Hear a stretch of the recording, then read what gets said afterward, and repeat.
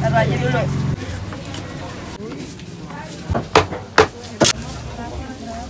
Warnanya masih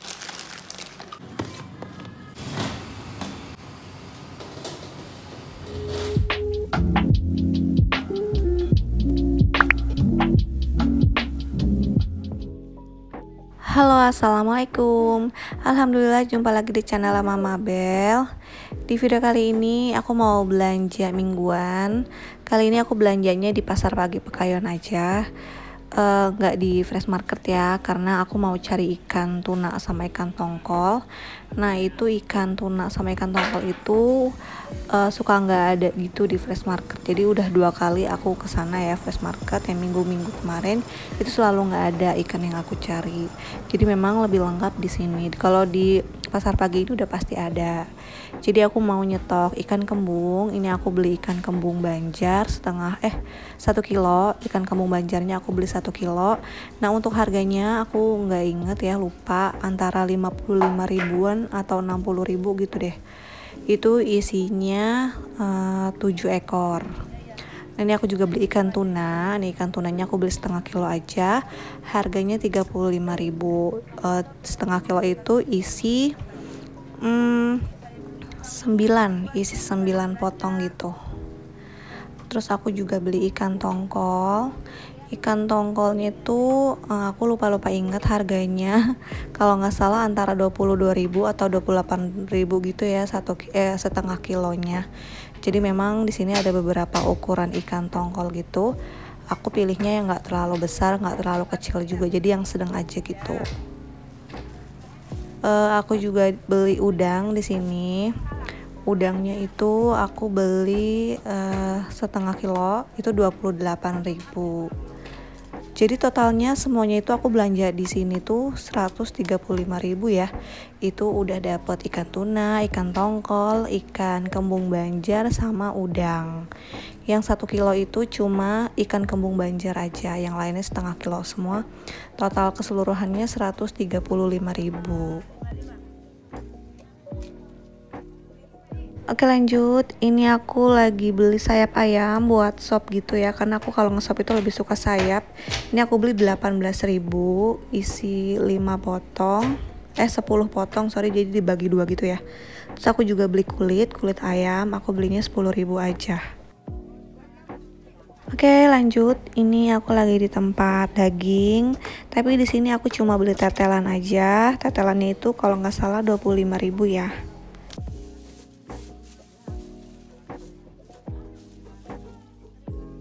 Nah ini aku lagi di tempat sayur. Ini aku mau beli jamur. Terus aku juga beli brokoli. Terus aku beli oyong Buncis Sama apa ya bawang merah. Totalnya itu aku belanja sayur di sini tuh 34.000 ya. Ada oyong, ada buncis, brokoli, uh, jamur, sama bawang merah Tadinya aku tuh di sini mau beli sayur bayam juga, cuma ternyata udah kehabisan. Jadinya aku mau cari di tempat lain. Nah, di sini aku lagi beli sayur bayam. Ini aku beli sayur bayamnya itu 5000 ya, dapat 3 ikat. Oke, lanjut. Ini aku mau beli uh, kacang merah karena tadi aku udah beli tetelan ya itu jadi ya rencananya aku mau bikin sayur asam kacang merah gitu nanti pakai tetelan gitu.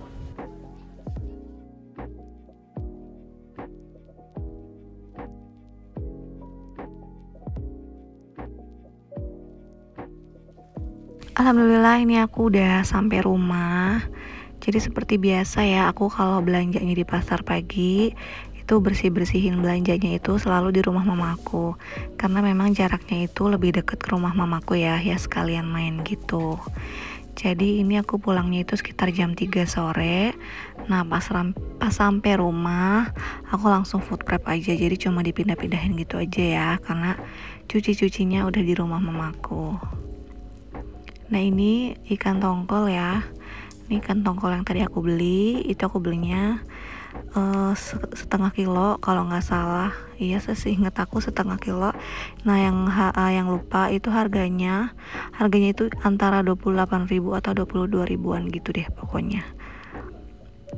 Ini aku pakai bumbu racik aja ya bumbu instan. Ini aku langsung balurin biar meresap jadi nanti tinggal digoreng aja gitu. Kalau ikan tongkol aku lebih suka digoreng gitu aja ya uh, digoreng biasa maksudnya nggak di belado nggak diapa-apain gitu. Digoreng gitu aja udah enak banget soalnya. Nah kalau ini tuna jadi emang aku tuh paling suka sama ikan kembung ikan tuna emang. Karena nggak ada tulangnya kalau ikan tuna tuh nggak ada duri-durinya jadi lebih enak gitu makannya. Nggak usah aku pisah-pisahin. Karena jujur aku kurang suka sama ikan emas gitu ya. Karena ikan emas itu durinya itu loh. Soalnya aku trauma aku pernah kayak apa namanya ya durinya itu nyangkut gitu di tenggorokan. Jadinya sampai sekarang kayak masih takut gitu makan ikan yang ada duri kecil-kecil dan tipis-tipis gitu. Kalau durinya yang besar-besar gitu kayak ikan apa ya kayak ikan kembung gitu kan emang ada duri-duri kecilnya cuma masih kayak durinya itu nggak sebanyak ikan emas gitu loh mam. Jadi masih sama aku masih it's okay masih suka aku pilih-pilihin gitu. Karena jujur aku kayak takut gitu kayak trauma. Kalau ikan tongkol ikan tuna kan uh, ikan tuna malah nggak ada tulangnya ya nggak ada duri sama sekali. Kalau ikan tongkol itu tulangnya tulang yang gede-gede gitu. Makanya sampai sekarang aku nggak doyan sama ikan emas cuma karena durinya aja gitu karena banyak duri tipis-tipis. Nah ini aku ikan kembung ya ikan kembung banjar. Ini aku beli satu kilo karena sekalian aja aku nyetok banyak. Itu harganya aku lupa sekitar 50 ribu atau 60 ribuan gitu deh. Nah ini aku pakein bumbu racik juga. Tapi bumbu raciknya ini tipis-tipis aja ya maksudnya sedikit-sedikit aja gitu nggak terlalu banyak. Cuma biar ada rasa gurih-gurihnya aja gitu ya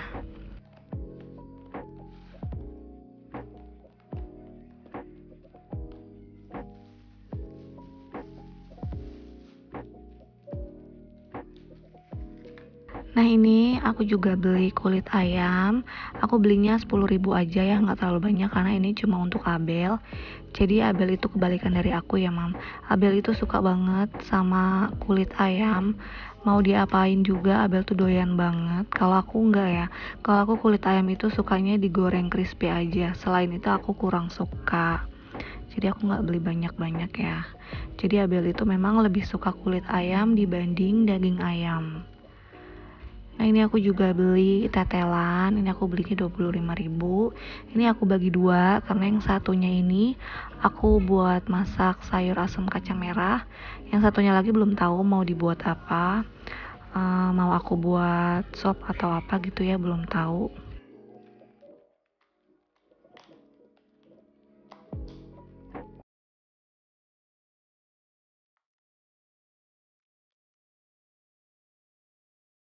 Nah kalau ini sayap ayam Ini aku belinya 5 potong Cuma dibagi dua gitu ya Jadi dapat 10 potong. Nah aku kalau ngesop itu lebih suka pakai sayap ayam ya mam Karena menurut aku dagingnya itu lebih lembut ya. Jadi Abel tuh doyan banget kalau misalnya aku ngesop pakai uh, sayap ayam gitu Karena dagingnya lembut banget. Nah ini aku juga beli udang. Ini tuh udangnya yang ukuran uh, kecil ya Yang 28.000 setengah kilonya jadi memang buat campuran-campuran aja nggak terlalu besar ya. Jadi kalau misalnya masak capcay masak tumis-tumisan gitu atau bikin gorengan bakwan bakwan udang biasanya aku pakai campuran uh, udang yang kayak gini. Jadi aku pakainya udang yang kecil-kecil kayak gini yang sekilonya 28.000 Eh maksudnya setengah kilo 28.000 bukan sekilo ya mam. Duh aku tuh kalau voice over kebiasaan suka banget salah sebut ya. Sering banget salah sebut kayak gini Oke, okay, alhamdulillah ini aku udah selesai food prepnya, tinggal dimasukin aja ke freezer. Jadi memang kulkas aku tuh udah lumayan kosong ya, mam. ini tuh tadi cuma sisa dada ayam aja, selebihnya uh, kosong, makanya ini belanja lagi, dipenuhin lagi. Ini biasanya stok untuk satu minggu ya, mam.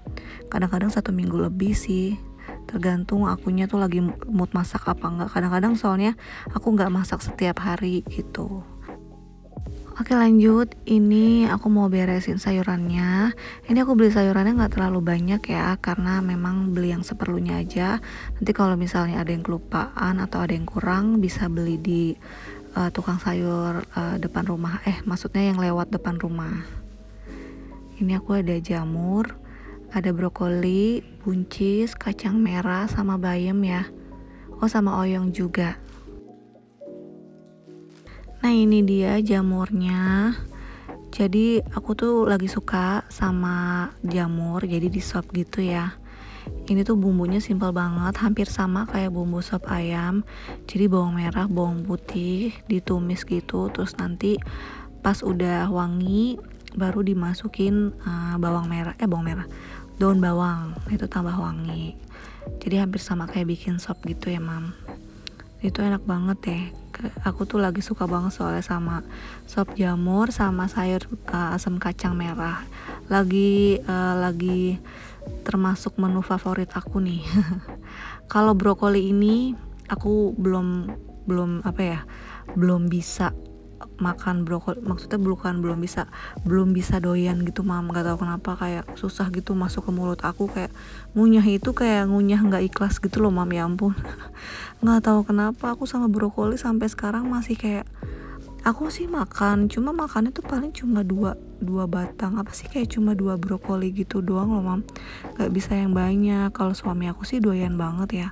Aku nih aku belum ya ampun sama brokoli tuh kayak belum bisa masuk gitu loh ke mulut. Jadi ngunyahnya tuh kayak ngunyah yang nggak mau mau nggak mau gitu Oke, okay, alhamdulillah ini aku udah selesai beresin belanjaannya. Jadi tinggal eksekusinya aja, tinggal dimasaknya. Mudah-mudahan mood masak aku minggu ini lagi bagus ya, Mam. Jadi nggak ada jajan-jajan gitu ya.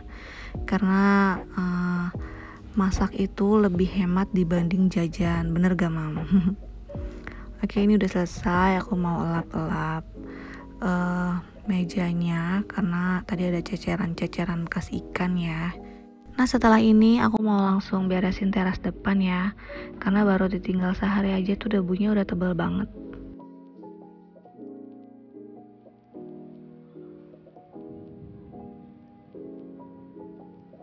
Nah lanjut, ini aku mau beresin teras depan. Baru tiga hari nggak aku apa nggak aku beresin aja tuh debunya udah tebel banget. Debunya tuh nggak wajar gitu, mem jadi kayak banyak pasir-pasir gitu loh. Jadinya memang harus dua hari sekali sih. Tapi ini kemarin kalau nggak salah empat hari deh, empat hari nggak aku siram-siram. Makanya ini langsung aku beresin aja karena nggak betah banget ngelihatnya. Kayak berpasir gitu terasnya. Makanya aku kalau jemur baju di sini tuh nggak nggak apa nggak uh, bisa lama gitu. Makanya kalau langsung kering eh kalau kering gitu aku langsung angkat. Karena takutnya gini debunya nempel-nempel gitu ke baju. Soalnya emang nggak ada lahan lagi mam. Untuk jemur baju cuma bisa di depan sini aja di teras depan